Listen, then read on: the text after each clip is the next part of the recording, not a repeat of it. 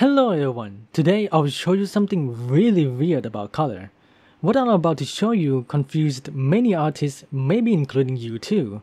But before that, I have to tell you how I got here.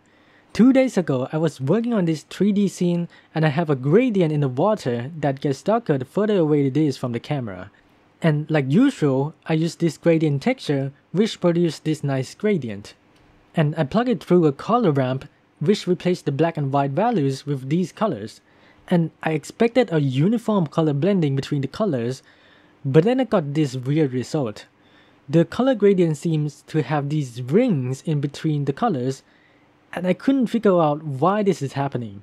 I initially thought it was something to do with my monitor, and so I desperately searched online looking for an answer. Now, usually when we are picking color, most people use the hue saturation value color picker, which basically allows us to pick RGB color in a more user-friendly way. This color picker is used in Blender, Clip Studio Paint, Photoshop, Procreate, and pretty much most of the painting software that you can think of.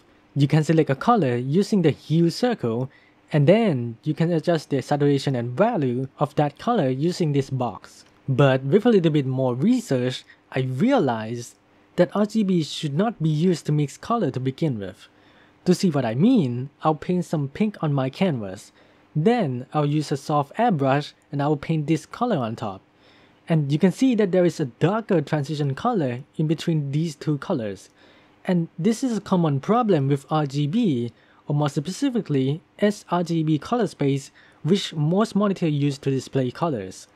This is exactly what happened when I was doing the gradient in my 3D scene, where the colors would just get darker when transitioning between two colors. This also means that you might be mixing color incorrectly too. So how do we solve this problem? One solution is to convert from sRGB color space to some other color space out there that maintain the perceived lightness when transitioning color. And fortunately, I found this video from Good Gneiss, Gneiss Name. Sorry if I pronounced that wrong. He introduced a perceptual color space named OK Lab. Then I read some information about it on a website and it completely shocked me. This is the color gradient for HSV color space, which like I said before, most digital software uses. And this is the OK Lab color gradient. And by just looking at it, I can tell that it maintains the perceived lightness way better than the HSV. And my mind was blown away because I only realized this when compared side by side. This means all I have to do is to convert all my colors from sRGB to OK Lab and do the color mixing in that color space instead. So I decided to search online for a color picker that uses OK Lab color space, but from what I found, there is not a lot of good color pickers out there that uses this color space. Fortunately, apart from doing 3D, 2D and singing, I can also do programming. So I made my own color picker and I hosted a website online so anyone can visit it and use it. It looks very similar to the HSV color picker, the only difference is that instead of value over here, it is lightness instead.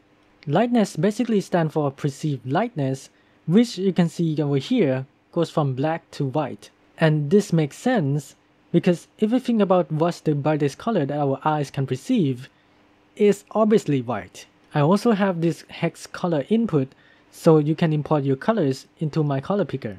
And to demonstrate this, I painted a Frieren fan art and I tried to use the color picker as much as I could.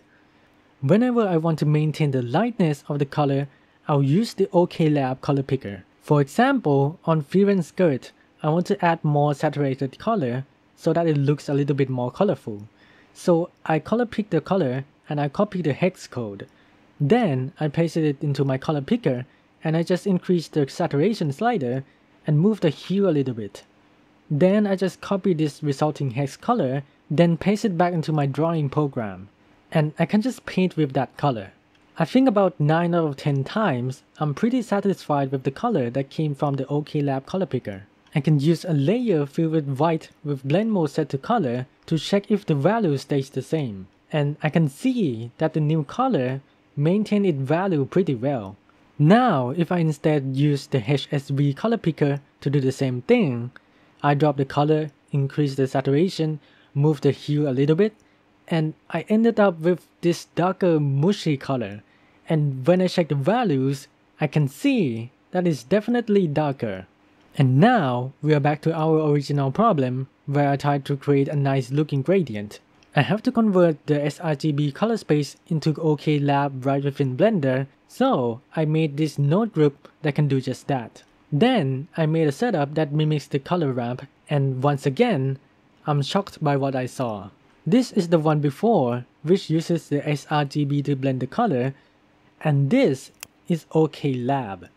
The color looks so much smoother than the old one, and I can proudly say that I am in love with this color space. Other links including the resources and where to find the nodes and the color picker are down in the description. Thank you so much to my Patreon members for supporting me so I can continue making free stuff on YouTube.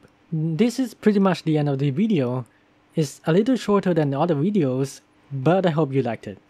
And like usual, stay positive and happy blending. See you on the next one.